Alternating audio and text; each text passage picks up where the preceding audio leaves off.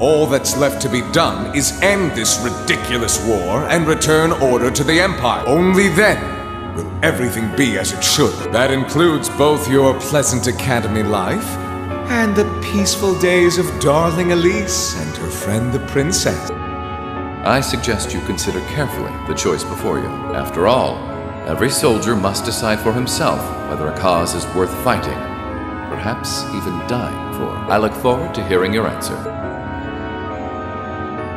It's hard to argue that this war began because the noble faction went too far. But the longer it goes on, the more people are going to suffer. Am I really okay with that? If I join them, I could reduce the number of victims, be friends with Crow again, free Elise and Princess Alfin. No, this isn't that simple.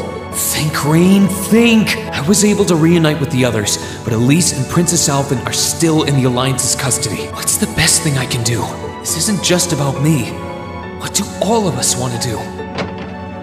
Keep racking your brain like that, and smoke will start coming out of your ears.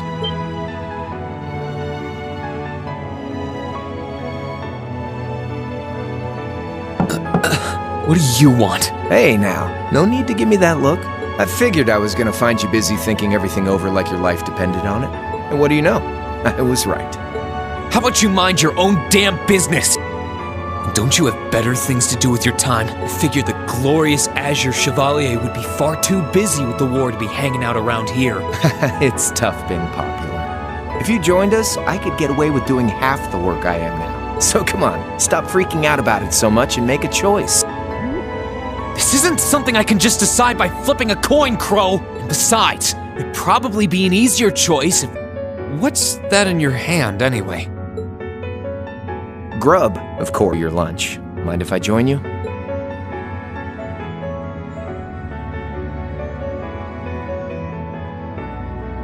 Hamburgers, fries, and onion rings, huh?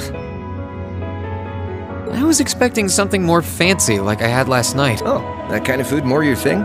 Okay then, give me a minute while I go ask the chef to whip something up. No, this is fine. The burger looks delicious. Cool. All right, dig in.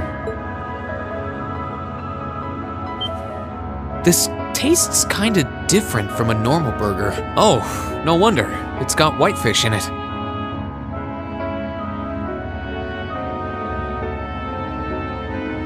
Yeah, they're called fish burgers. Pretty good, right? Yeah, the tartar sauce makes for an unusual extra flavoring too. Oh. Hmm, this tastes amazing. I like this way more than the food I had last night, to be honest. Well, glad to hear it. Guess it was worth putting my cooking skills to the test after all. Wait, you made this? Was my first time cooking in a while, too. Sharon could probably do better, though. But I wanted to give it a shot anyway. This stuff was like soul food back in Dry, where I grew up. Oh, To think, all the time we spent searching for the leader of the Imperial Liberation Front, and he was right under our noses. Crow Armbrust from the Jurai SEZ. Oh, yeah. Vita was using some weird thing of hers to let you see what was going on, wasn't she? So I guess you saw what happened there. yeah. Jurai was that special economic zone in the northwest you guys went to during our August field study, too. We didn't run into anything like that in the Jurai Special Economic Zone, though I guess that makes sense seeing as it's under the direct control of the Imperial government and not a noble. I seem to recall that it was annexed eight years ago. Is that right?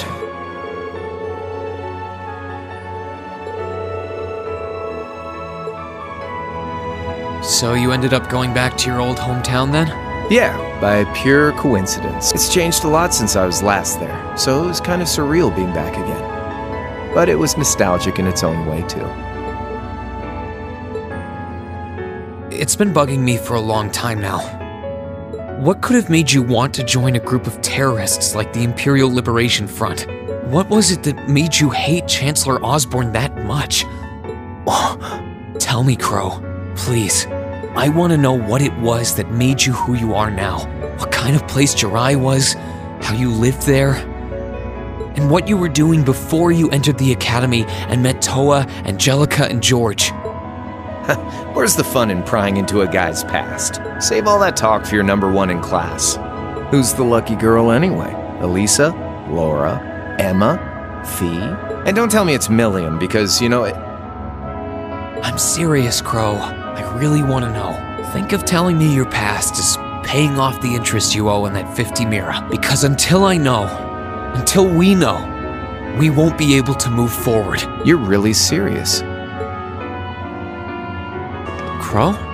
My past really isn't that big of a deal, you know. It's got nothing on yours, that's for sure. If you find yourself thinking that's all when I'm done, well, I warned you. So, you really want to know? Yeah. Nothing you say will change my mind. Please, tell me. All right, you win. Like I said, it's just your run of the mill sob story. Pick up any history textbook and you'll probably find a dozen others just like it. It's the kind of story that's so common no one bothers to remember it, like it never even happened. Back in those days, Jurai was known as Jurai City. It was a city state off the coast of northwest Zemuria that prospered through maritime trade with West Erebonia, North Ambria, and Remiferia. It had a population of around 150,000 people, so it wasn't exactly a big place or anything. Because of that, the surrounding nations left it alone and let us live out our days in peace. We were pretty fortunate, all things considered, until about 20 years ago. That was when the North Ambrian disaster struck, and much of the Principality of North Ambria was turned to salt. And as a result, trade on the northwest shore was reduced to virtually nothing. Day after day, Jurai's prosperity started to fade away. Still, it wasn't all bad. We had our fishing, our historic landmarks, our sepith mines. We could make use of those to get trade going again, both to keep our state running and to help out North Ambria. In fact, the one who advocated that approach was the mayor, my grandfather. He was the last mayor Jurai City ever had. he was a stubborn old bastard, but he had this wry sense of humor and was well loved by everyone. I lost my mom and dad early, so he was also my only living relative. he taught me just about everything a guy could know. He was like a mom, dad, and your old master rolled into one, I guess. Anyway, fast forward to 10 years ago. Out of nowhere, we received this proposal from the Erebonian government. They said they wanted to extend a railway line from Heimdall all the way to Jurai. We relied on the sea for trade before, but there wasn't any reason to believe we couldn't benefit from being connected to Heimdall by rail. The proposal drew overwhelming support from the city's council, and as a result, my grandfather was forced to accept. Within a year, the city had all of its old life back and then some. The streets were more bustling than ever. But keep in mind, this was the result of huge amounts of imperial capital flowing into the city. Land and buildings we once treasured were bought up left and right. Everything became a target for investment. People only cared about making money. Something similar supposedly happened in Crossbell too, but unlike there, no opposition existed in Jurai. My grandfather sensed something was off, and he tried what he could to get the situation under control. Then one day, someone blew up the railway line leading to Jurai. Everyone demanded that it be repaired as quickly as possible. Everyone except the imperial government. Instead, they panned our national security arrangements for being insufficient and threatened to withdraw all imperial capital. The city was left in an uproar like we'd never seen. Shares plummeted, and with no one able to ascertain the culprit's identity, chaos reigned.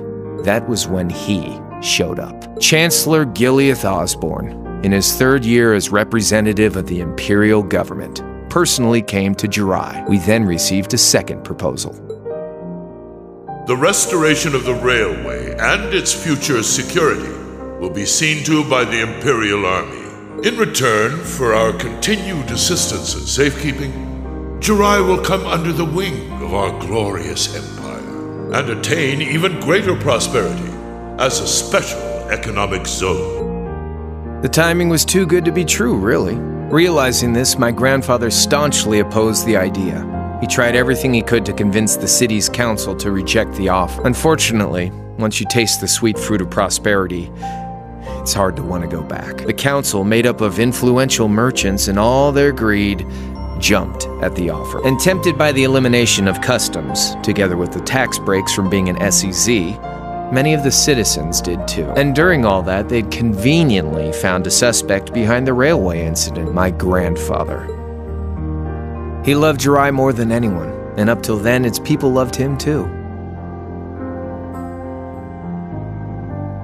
And yet, virtually overnight, he found himself facing the wrath of both the city's council and the citizens alike. Left with no choice, he resigned from his position as mayor, and Jurai formally became part of the empire. Both of these things happened on the same exact day.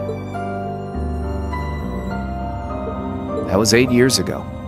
Naturally, everyone knew my grandfather wasn't the one who did it. They knew who was really responsible. They just turned a blind eye to the truth. See?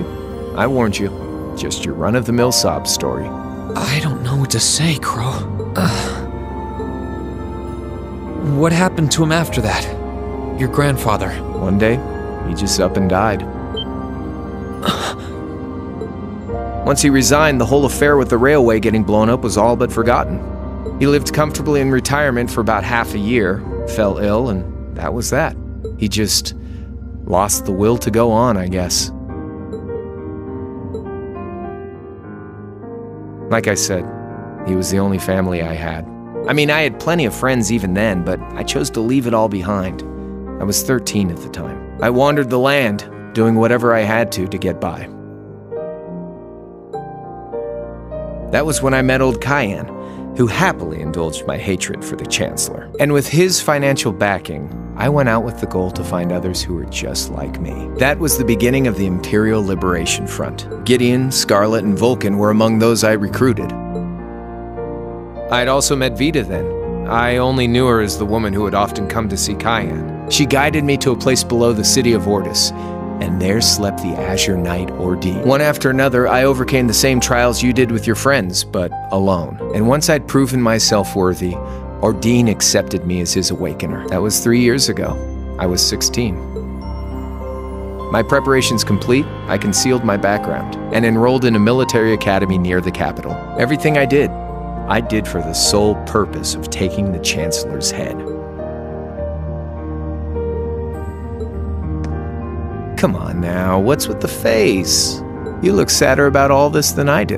Yeah, I guess. I swear. I'm not trying to tell you the Chancellor was evil or anything. What?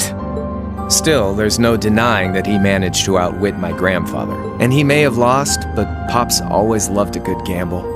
It's thanks to him that I'm pretty good at chess, card games, that kind of stuff. I'd say it's fairly normal for a student to want to avenge his master's defeat, wouldn't you? Maybe. At the end of the day, there's no denying this country has problems, and the Chancellor's methods were making them worse. I studied those problems, worked out how to use the situation to my advantage, and then won the game with an all or nothing gamble. But when you think of how peaceful Jurai is now, I'd say I've got a duty to clear up the mess left behind by my game too, which means ending this war and restoring peace. So it's only when that's done that my game is truly over.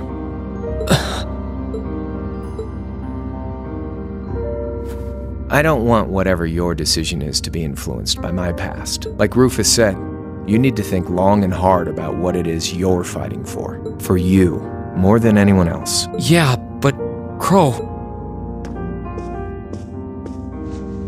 Anyway, I think I've stuck around here for long enough. You're gonna be treated as a visitor. Well, sort of. It's about time for the higher ups to head back to Heimdall, so go ahead and pass the time however you want. However I want. What else can I even do here?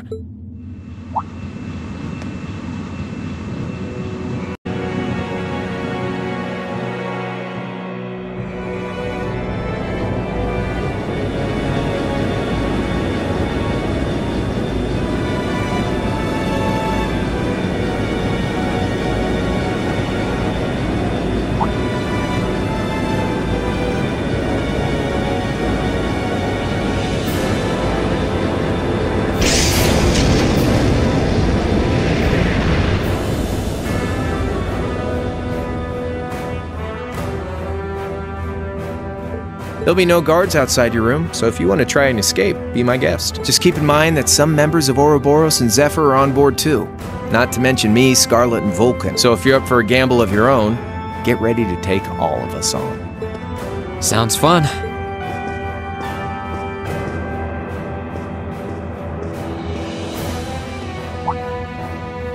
Oh, yeah, one more thing. There's this real cute visitor in the guest of honors room on the second floor. I think she'd perk right up if she saw you. So why not go pay her a visit? Just don't go making your girl jealous, okay?